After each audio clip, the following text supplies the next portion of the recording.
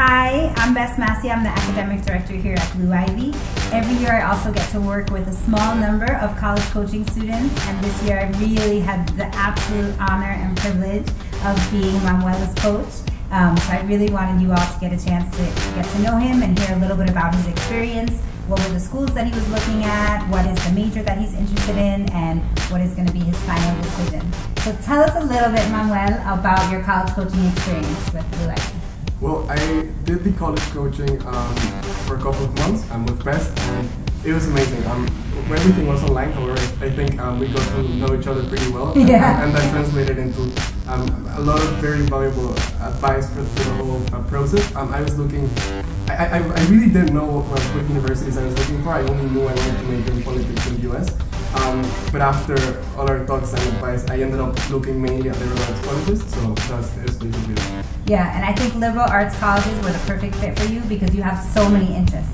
Manuel was going to study uh, political science, but he's also just interested in international relations. He's a debater. He's interested in the arts, and I feel like these schools give you a chance to just explore everything and do a little bit of everything. Oh yeah, I, I mean, uh, I didn't even know about the concept of liberal and yeah, I, I, I totally love uh, the concentration on, on undergraduate students and mainly like the very liberal environment um, in all senses of the word, in, in, in all meanings of the word, um, both uh, in, in the sense that they let you explore so many different interests, but also in the sense that you have to fulfill some requirements, but that don't constrain you into just having to concentrate on one thing or another. Right.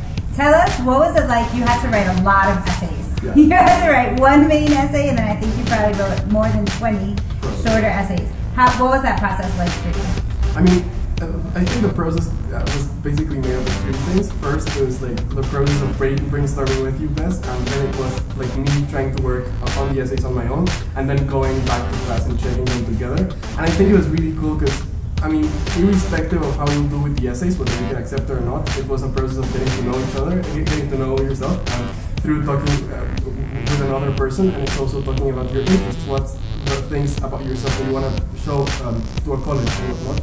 And so I think that process is really valuable in itself, irrespective of, of how colleges react to those essays. And so I think it is basically that. And, and then getting to improve also your writing skills, um, your your your your skills on, on knowing how to how to express things that perhaps people don't know about you or haven't really um, talked about openly, etc. I always remember the essay you wrote about the books and the library. I loved working with you because e- you cared about every single word.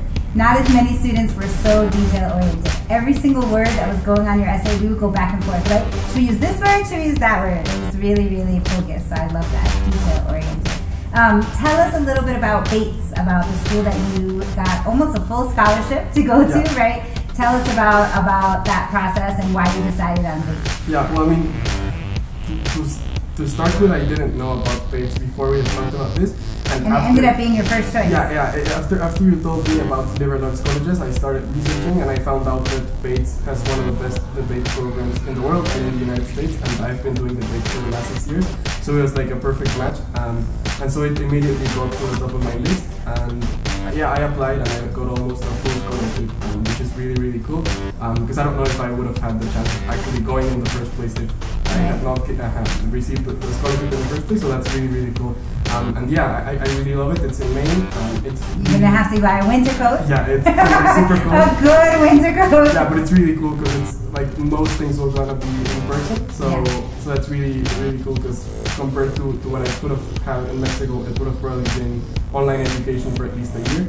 Um, so it's really cool. It's it's it- it's got uh, like national parks near uh, ne- near the school, near the campus. Um, the campus in itself is really beautiful, Beautiful. and and yeah, it's it's got a really strong politics program as well, which is what I want to make. Absolutely. They're lucky to have you, and we were honored to work with you. Felicidades. Thanks for